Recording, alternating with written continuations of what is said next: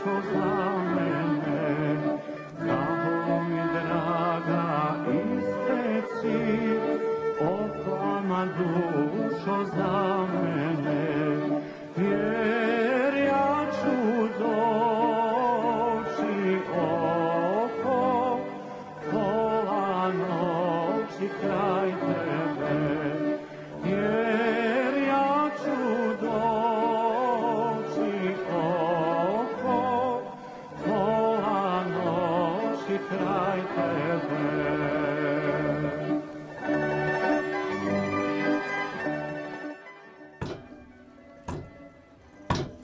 Ovako se tuca dibek kafa za bosansko spremanje dibek kafe.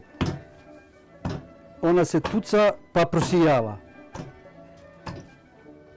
Do tog praha prosijanog može se doći i mljevenjem. A ovo je način kako se tuca kafa. Sad ima i ovaj stroj za tucanje. Malo moderniji, da se više ne mišići ne naprežu. Stoljetnu tradiciju tucane kahve danas na Baščarši održava nekoliko zanatlija, a mi smo posjetili jednu od njih. Ovdje se sirova kahva prži svaki dan i tuca na tradicionalni način.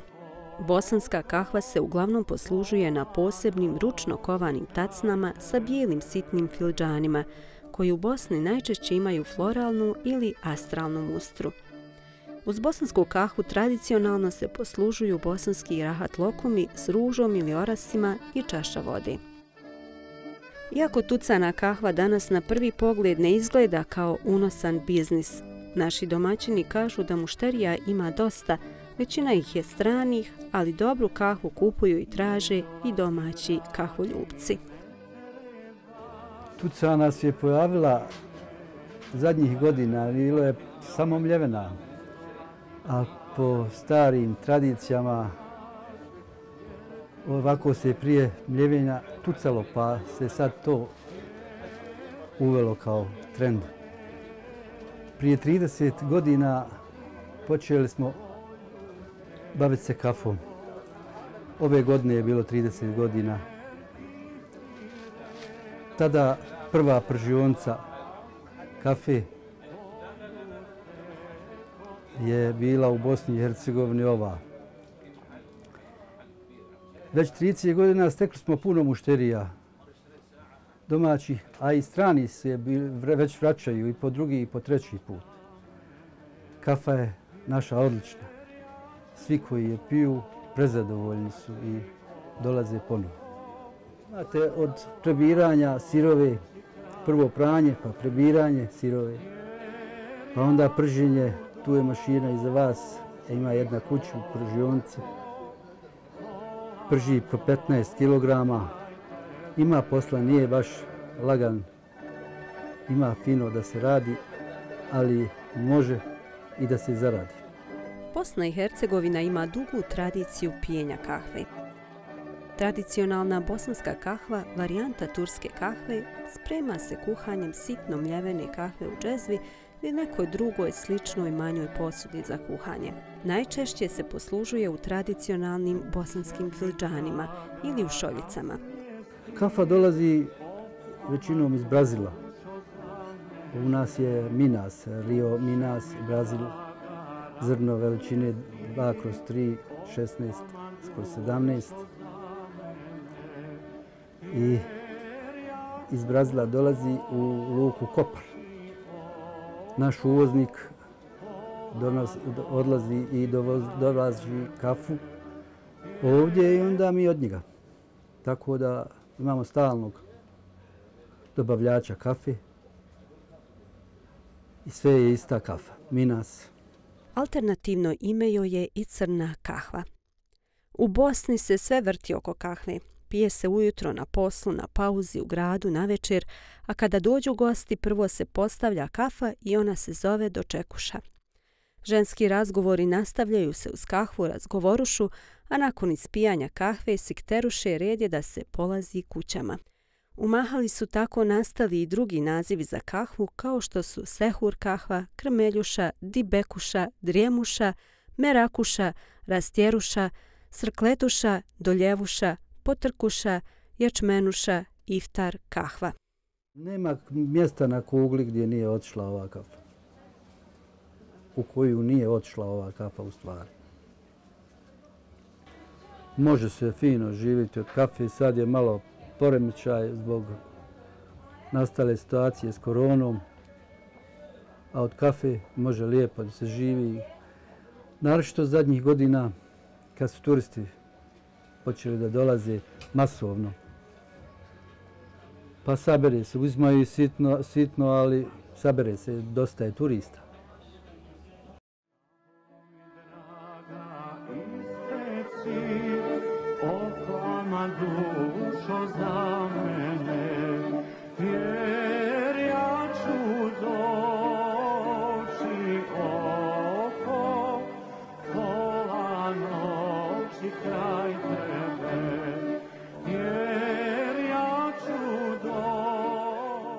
Onaj ko voli taj posao, ovaj, o, posveti pažnje, više pažnje posveti samoj obradi kafe.